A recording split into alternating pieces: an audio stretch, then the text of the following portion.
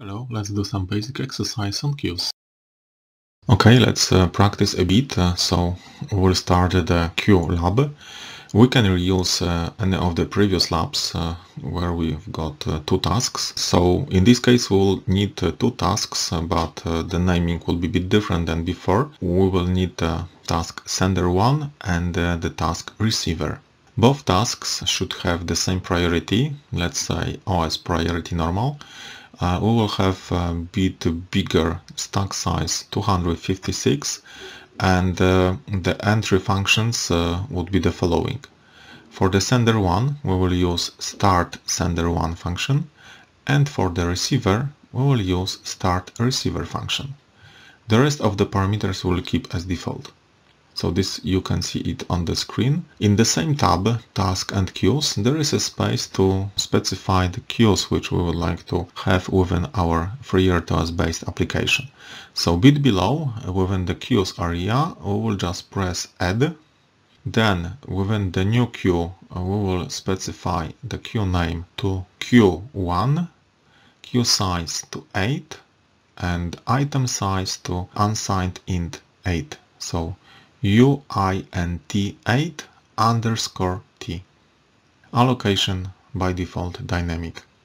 Once done it, press OK and we can regenerate the code by pressing Ctrl S with an STM32Cube IDE or by pressing Generate Code with an STM32 CubeMX.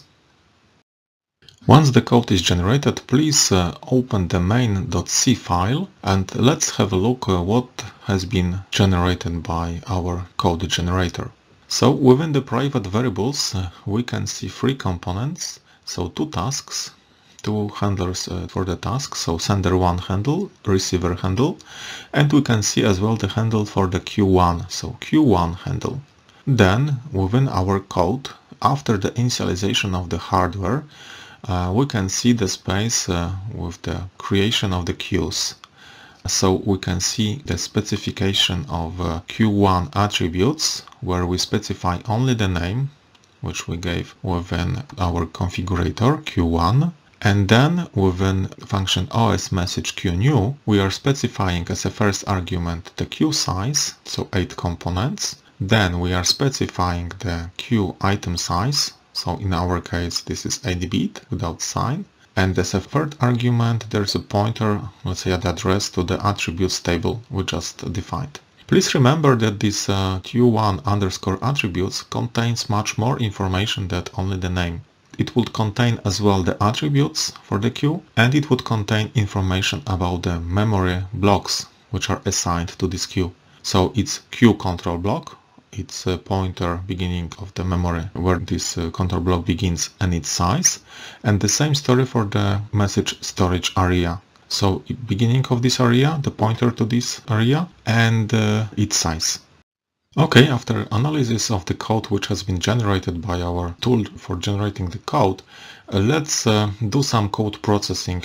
So we will start from sender1 task function so the function which should send something to the queue so we will start uh, with some variable declaration within the initialization part of the sender1 function. So just after user code begin 5, we will declare 8-bit uh, value without sign x equal to 0. And then within the endless loop, we will start from task action. In this case, we'll try to send s as sender. And then just after it, we'll try to send some data into the queue. So we will use OS message queue put.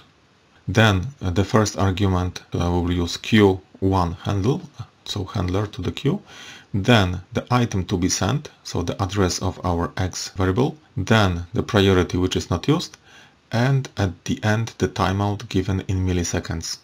Of course, it would be much better if I would use here either the infinite value, so OS wait forever, for example, or if I would check at the end the status of this operation and in case if it's not OS okay, do some other operations which would be a backup solution to, for example, send the data later on.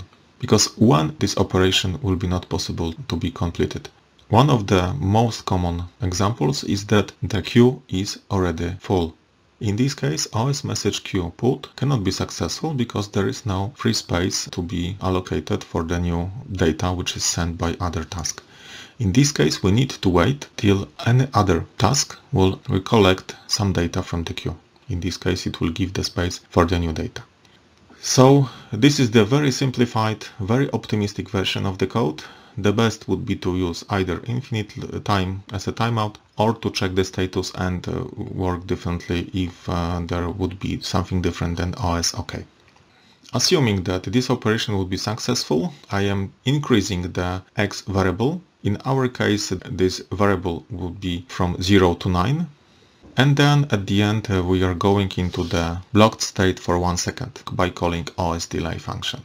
So this is the code for our sender. Let's have a look on the receiver task.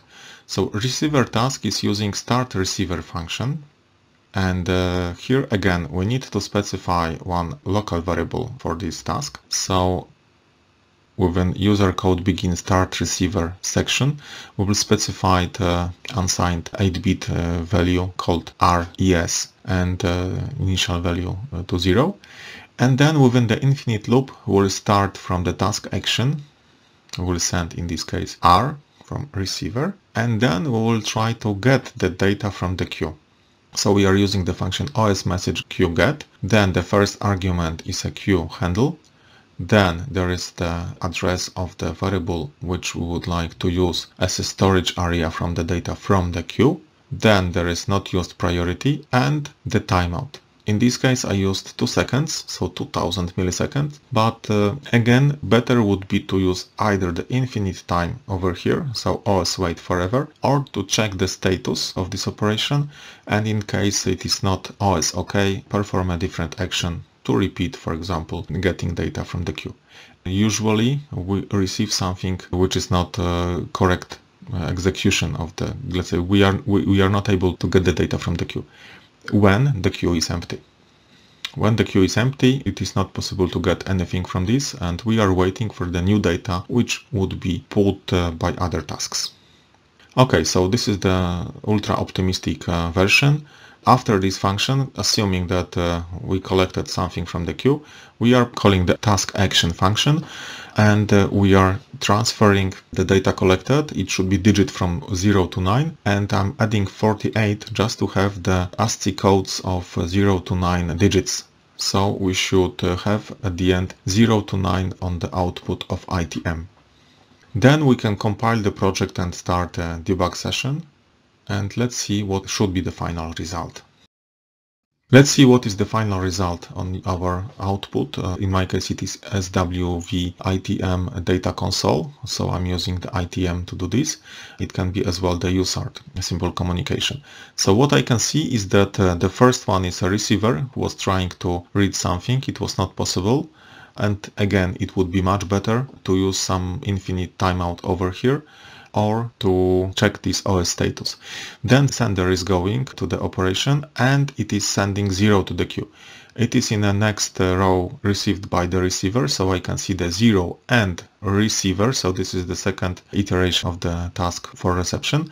Then there is a sender, sender is sending 1 to the queue, and in the next row I can see that 1 is displayed by the receiver and uh, R means that I'm waiting for the next data and then sender. Then in next row I can see 2 displayed by the receiver and R. And again sender, 3 and receiver and waiting for the number, next number and so on and so forth till the 9 and then I'm starting from 0. Here we can see the example how we can make the more robust implementation of, for example, receiver task function. And here we can see that uh, uh, within the variables uh, for the receiver task, uh, I added uh, the new one. It is OS status underscore T type. This is R underscore state. And uh, then I'm checking the return value of OS message queue get. This is R underscore state. Based on this information of this status, I can perform different operation than going to the task action. If uh, I do not receive anything, I will not perform the task action in this case. And I have replaced the timeout into the OS wait forever. OS wait forever means that this function will wait uh, continuously till the effect will be done. The problem is that if we are not sure that the data will come, it will block us in this line forever. So it is better to monitor the state and in case uh, the state is not OS OK, perform different actions and unfreeze the task or in case we would like to freeze the task really and waiting for the queue, we can use os wait forever. But we should be uh, aware that os wait forever, it is uh, waiting and blocking our task on this particular line. And what is good is that uh, what we can do next, uh, we can use this r underscore state and add it uh, to the live view, but for this it should be not a local within the task but the global one, and monitor it within the debug session so it will be clearly visible uh, when the queue will be empty and uh, we cannot get any, any data out of this. Thank you for watching this video.